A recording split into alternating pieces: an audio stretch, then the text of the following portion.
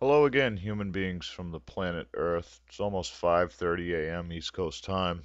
Tried to sleep earlier, but uh just kind of got that sixth sense that I shouldn't be sleeping and whenever I get that little whisper in my ear throughout life and I haven't listened to it, well, there's been some kind of hell to pay somewhere.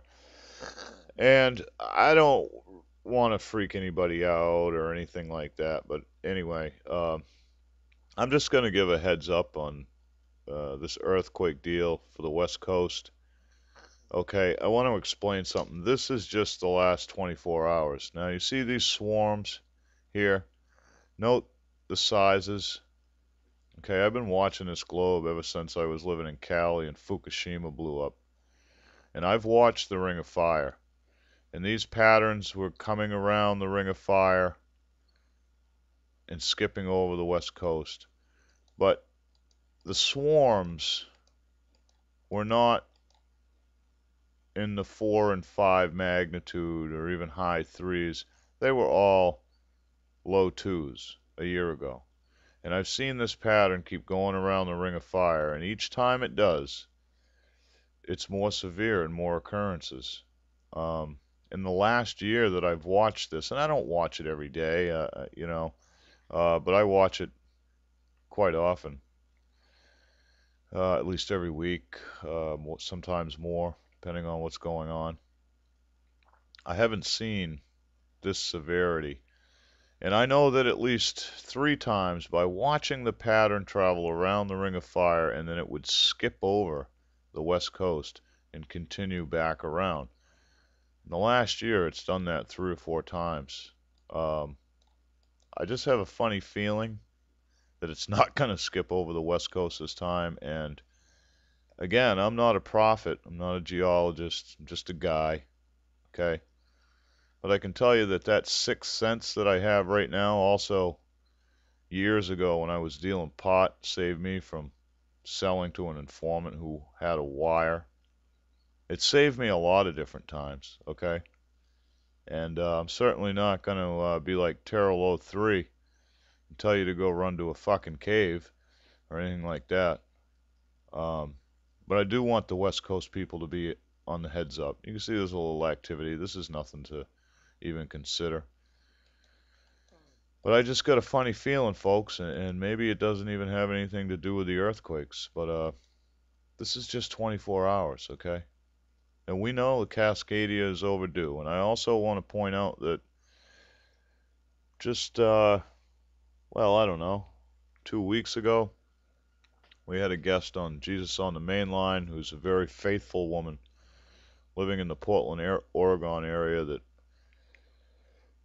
you know, had a vision that uh, Portland was going to get struck with a major catastrophe.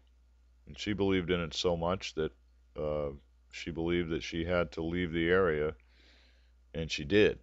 Okay, she went down to Honduras, I believe, or Mexico. Uh, the point of the matter is, is, is that, you know, I can't give you any science. I can't give you a link. I can't give you any facts. But I can give you my gut feeling. And uh, if you're on the West Coast, uh, hey, wouldn't hurt to put a backpack of clothes and food in your car and keep it there for the next week, would it? Wouldn't hurt to kind of check things out. Be aware of what's going on around you. Uh, know what your escape route is. Know what your resources are. That kind of stuff. So anyway, I don't know what it's worth. I don't. I can't tell you to do any certain thing, but be on your toes. Do a little something. If you're one of those people that hasn't done a damn thing. Throw a bag of food in the car, man. Throw a bag of clothes for, you know, your kids or your spouse or whatever. Just keep it in the trunk. What's the big deal? Take you 10 minutes to do something like that. Could save your ass. And while we're here, might as well go show you what the entire week looked like. Okay. This was the last week on planet Earth.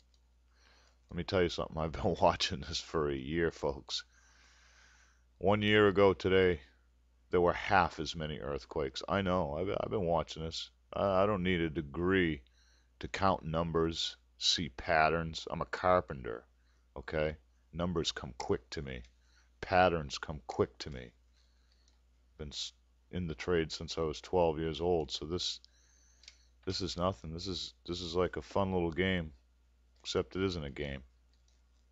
People's lives are at stake, and you know, if all you had to do was keep your tank full, keep your keys in your pocket, and have a bag of clothes in your car, and maybe a bag of food, well, that's about all I can give you, but